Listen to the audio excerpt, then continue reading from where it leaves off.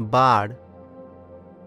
बहुत समय के बाद दुनिया में बहुत लोग रहत रहले।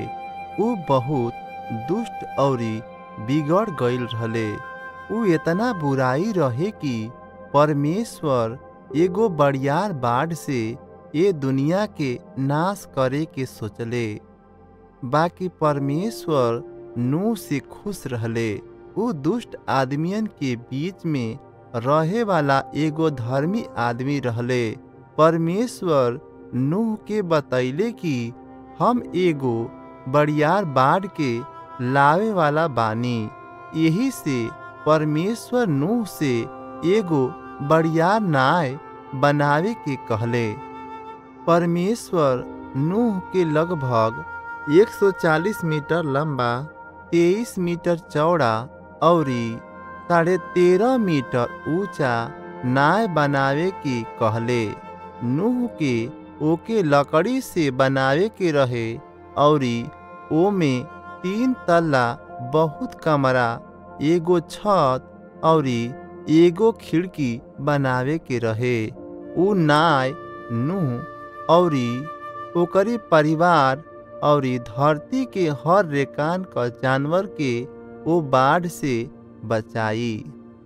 नू परमेश्वर के बात के मनले उ औरी उनकर बेटा लोग ओइसने नाय बनैले जैसन कि परमेश्वर बतैले रहले, काहे से कि उ नाय बहुत बड़ियार रहे यही से उनके बनावे में कई बरिस लग गईल नूह लोगन के आवे वाली बाढ़ के बारे में चेतावनी दिहले औरी उ लोगन के परमेश्वर की ओरी फिरे कहले, बाकी उ लोग उन पर विश्वास ना कैले।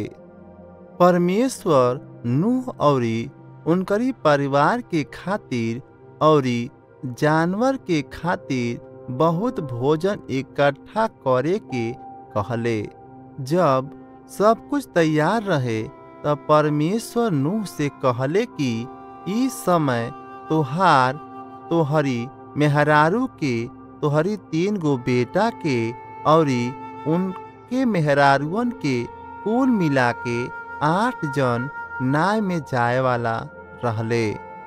परमेश्वर हर जानवर औरी पक्षी के, नर औरी मादा के नूह के पास भेजले, ताकि उ नाय में जा सके और बाढ़ की समय ले बचल रहे। परमेश्वर ऐसा ही हर रेकान का जानवर के सात नर और सात गो मादा के भेजले, ताकि बलिदान चढ़ावे के काम में आ जा। जब उ सब लोग नाय में पहुँच गईले तो खुद परमेश्वर नाय का दरवाज़ा बंद कर दिहले। तब बारिश होके शुरू भइल औरी बारिश होत ही रहे होत ही रह गईल बिना रुकल ही चालीस दिन औरी चालीस रात तकले बरसते रह गईले सारा दुनिया हर एक चीज़ यहाँ तकले की ऊँचा से भी ऊँचा पर्वत डूब गईल औरी उ लोगन औरी जानवरन छोड़ जीवन की नाय में रहले, सूखल ज़मीन पर रहे वाला हर एक चीज़ मर गईले। उ नाय पानी में तैरता ही रहे, औरी नाय के भीतर के हर एक चीज़ के डूबे से बचा के रखलस। बारिश के रुकला के बाद पाँच महीना तक ले उ नाय पानी में तैरता ही रह गईल। औरी वो समय के बीच पानी कम होखे लागल। तब एक दिन उ नाय एगो पर्वत पर जाके रुक गई बाकी दुनिया अबही भी पानी से ढकाइल रहे। तीन महीना के बाद पर्वत का चोटी लौके लागल। फिर औरी चालीस दिन के बाद नूह एगो कौआ के ई देखे खातिर भेजले कि का पानी सुखा गईल ह। उ कौआ सूखल ज़मीन की खोज में इधर उधर उड़त रहे। बाकी ओके ऐसन कौनो जगह ना मिलल। फिर बाद में नूह एगो कबूतर के बाहर भेजले। बाकी ओके भी कौनो सूखल ज़मीन ना मिलल। यही से ऊ नूह के पास वापस आ गईल एक हफ़्ता के बाद नू ओ कबूतर के फिर से भेजले औरी ऊ अपनी चोच में जैतून का एगो शाखा लेके वापस आइल पानी घटत रहे, औरी पौधा फिर से जामे लागल। नू एक हफ़्ता औरी इंतज़ार कैले और तीसरा बार ओ कबूतर के बाहर भेजले।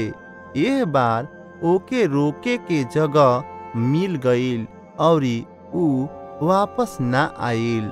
पानी सूखत रहे। दो महीना के बाद परमेश्वर नूह से कहले, अब तू औरी तुहार परिवार औरी सारा जानवरन के नाश से निकाल ले आव। बहुत ढेर बेटन संतानन औरी पोता पर पोता जन्माव औरी पृथ्वी के भरदा। यही तरह से नूह औरी उनकर परिवार नाय से बाहर निकल अइले। नूह के नाय से बाहर अला के बाद ऊ एगो बेदी बनैले औरी बलि करे खातिर चढ़ाए वाला हर रेकान के जानवरन के कुछ बलि चढ़ैले परमेश्वर ओ बलिदान से खुश भैले और नूह और उनकरी परिवार के आशीर्वाद दिहले। परमेश्वर कहले, हम वादा करत बानी कि आदमी के द्वारा कइल गईल बुरा काम के कारण हम फिर ज़मीन के श्राप ना दे या बाढ़ द्वारा दुनिया के नाश ना करब। हालाँकि आदमी अपनी बचपने से ही पापी है। फिर परमेश्वर अपनी वादा के चिन्ह के रूप में मेघ धनुष के बनैले, जब कबो भी आकाश में मेघ धनुष दिखाई देला तो परमेश्वर याद करे न कि हम का वादा कैले बानी। और सही उनकर लोग भी याद करी हैं उत्पत्ति अध्याय छ से आठ से एगो बाइबिल का खिस्सा